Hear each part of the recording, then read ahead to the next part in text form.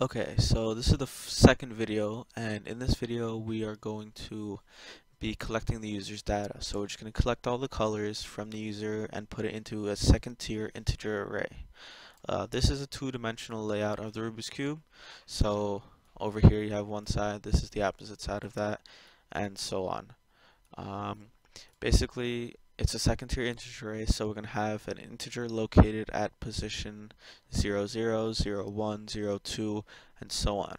So this is going to be useful because we'll have all the user's colors and we'll be able to manipulate these uh, in such a way that we can solve the Rubik's Cube.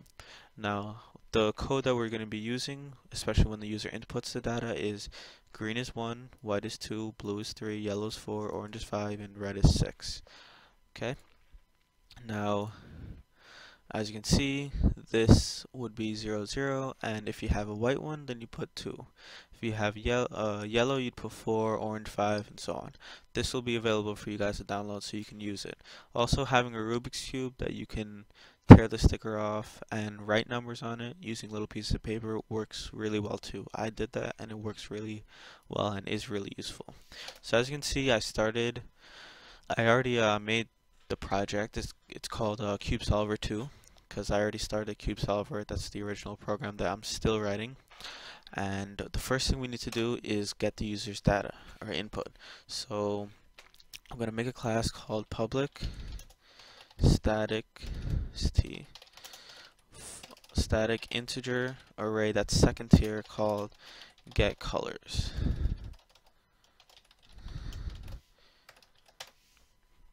And in this integer, in this uh, method, not class, method, we're going to have a second tier integer array called input. No, it's actually integer input new int 6 and 9. Alright, so the reason why we have 6 and 9 is because there are 6 sides of the Rubik's Cube and there are 9 pieces in each thing. Now, even though it goes from 0 to 5 for the number start at 0, we can use the sixth uh, variable future in the future program, uh, which is why I always try to do one more for any integer array. Alright, now to get rid of this, we're just going to do return at return input. Therefore, it returns, and we're just going to add this class to the main method. So we're just going to go get the colors from the user, and then we're going to go int second tier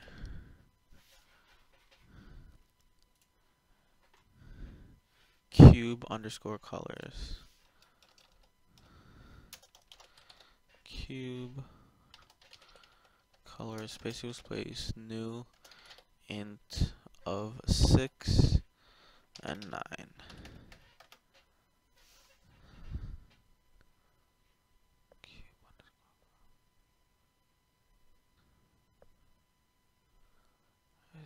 Okay, need that in and then in order to get these colors we'll use the class that we just made. Get colors. And there you go. So now what we're doing is we have a second tier array that has six in the first tier and nine in the second tier. And we're getting the colors of the cube using the class get colors. Alright? Now in this class we're going to need two counters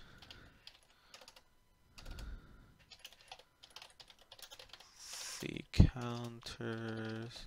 We're gonna need integer counter underscore zero. I'm gonna set that to zero. And int counter one and set that to zero. Alright, now these will be the counters for the loops. You don't have to worry about that yet. Next thing we're going to need is we're going to need a new scanner. Uh, the scanners are basically how you get input from the console. system.in and we're gonna have to import that so go here add import and I just added it to the top right here Alright. So now we got the scanner. Now we have to collect the data.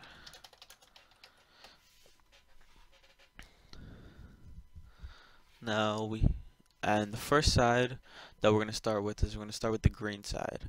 Uh, you may be asking why the green side. That's just what I started with. So uh, if you want to follow along with the series and just start with that, the green side is going to be this, the white side is going to be this, um, then the blue side will be this, the yellow side will be this, and then the orange is going to be on top, red's going to be last on the bottom. Alright, so first thing we're going to do is we're going to get the data for the green side. Side. And we're going to print some instructions out onto the console. So print and I already have this saved so I'm just gonna copy and paste it. What it's basically saying is you're entering the colors for the green side and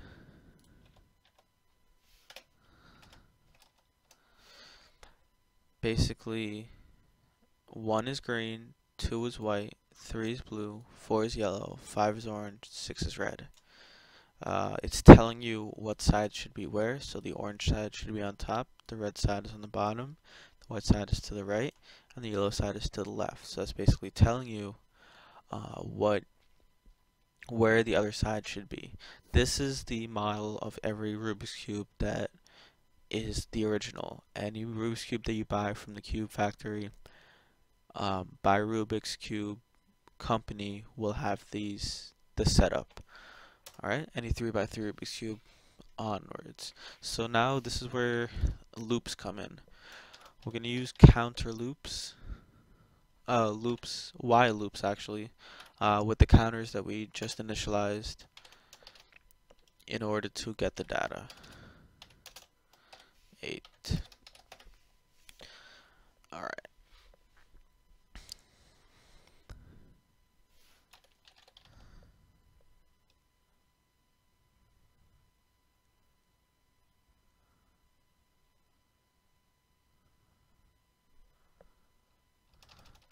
Okay, so the first side that we're going to get it, since this is a green side, every single first number of the array is going to be 0. As you can see here, 0, 0, 0, 0, 0, 0, 0, 0, 0. Alright, so what we're going to do is we're going to put the input at 0 and at counter underscore 0 is equal to integer dot parse int of in dot next line. Okay, so what this basically is saying is while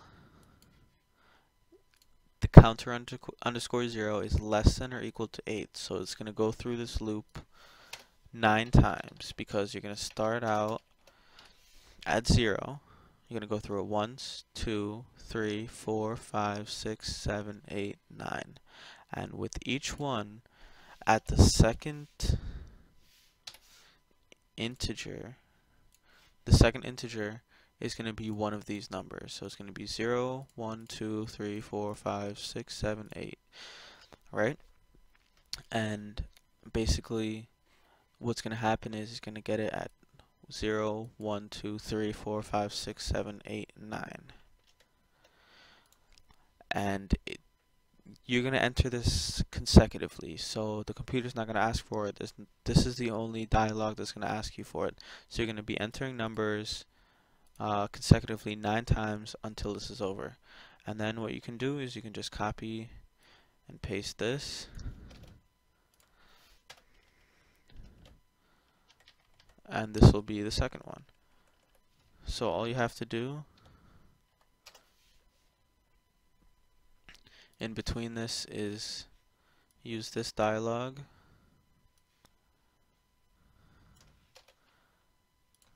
and say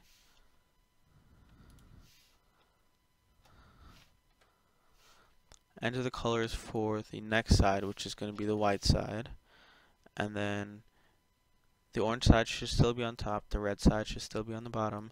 Now it's not the white side that's going to be to the right, it's going to be the blue side now.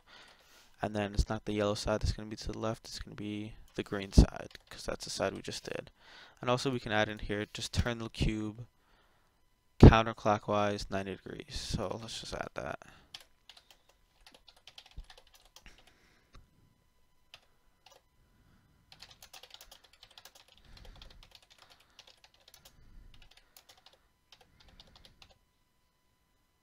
It's actually clockwise. Turn the cube clockwise 90 degrees. Alright. So once you have that down, you just copy and paste this nine times six times and you'll get the colors for every uh, side of the cube. The only thing that extra you have to do is you have to change the input uh, first tier uh, integer to from 0 to 1 and then add one consecutively until you get to 8 for each of the integers. So I'll show you the finished code right here. This is the finished code. So as you can see we have the same thing that we had in the old code, but then you have um, the white side, enter the colors for the white side, and then it's um, input at 1. So, and then you have input at 2 for the blue side, input at 3 for the yellow side, input at 4 for the orange side, and input at 5 for the red side. Okay, so after you're done doing all of uh, copy and pasting and just manipulating this uh, print line and stuff, you can actually build a program and see how it runs. I'm going to build it right now and show you guys what it's supposed to look like. Now, actually, we didn't need the uh, second counter, so you can just get rid of that. Okay, so this is the build, and it tells you enter the colors for the green side. Now, this is an extremely, extremely primitive way of getting data. If you were to make a program for a company or release a program to people for like regular users to use, you would have to use try catches and other um, ways of making sure that you don't get two digits, but rather you get one digit, and you don't get a digit like seven, rather you get a digit from one to six. But because we're just doing this for fun and for practice, uh, we're just going to keep it very primitive and maybe later after the series is over we'll add on to it more so let's just say that we have data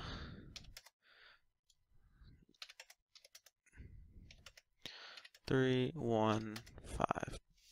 Now, as you can see, I entered nine digits of data. I entered a white, an orange, a yellow, a red, another yellow, another orange, a blue, a green, and another orange. Uh, now, after those nine, you're going to enter the ones for the white side. So just enter random numbers. And another thing is we would have to do try catches not only for double digits but also for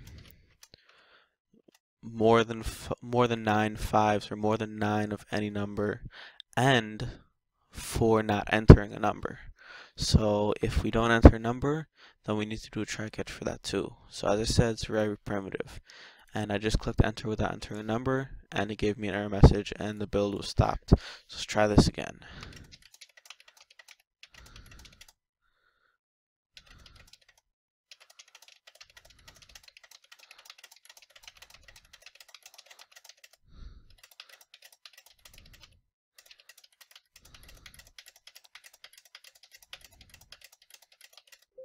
So, as you can see, all the numbers were taken, and I just uh, added a checkpoint to it. This is actually the original program, um, but you wouldn't see all of this in in the program that you wrote, so don't worry about that.